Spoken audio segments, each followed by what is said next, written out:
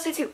So, um, I didn't really do anything today. I slept till like 2 because I was like, I'm gonna sleep today because I'm not, can't sleep during school, school week, obviously.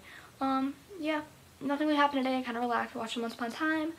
Um, Grace and Thomas rode their bikes, and that's pretty much it. I'm not gonna focus with Thomas tonight because we're all just kind of relaxing. Um, yeah, that's it. Uh, I don't want to go back to school Monday, but whatever. Um, yeah, that's pretty much it. So I'll let both Grace and listen, and I'll see you all soon. Bye! Hey everyone, it's Grace, and today was the last day of summer for me.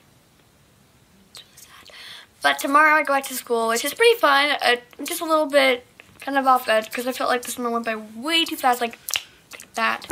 And um, it's pretty sad, but tomorrow I think it'll be fun since it's the first day of school. We don't really do anything, but I'll be meeting all my teachers.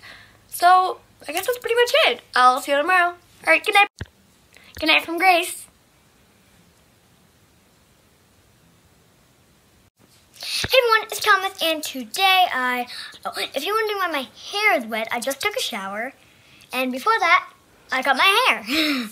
um, tomorrow, I'm going into second grade, yeah, going into second grade, and I'm really excited, kind of scared, because there's only two of my friends in my class, so, actually no, three, yeah, three, okay.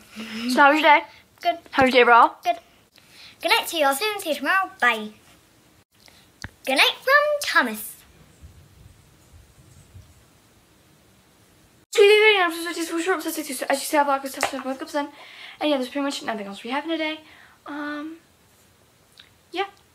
So I'll, I don't, no, I'll, I hope your takes a good day, and I'll see you tomorrow. Bye. Night from Kate.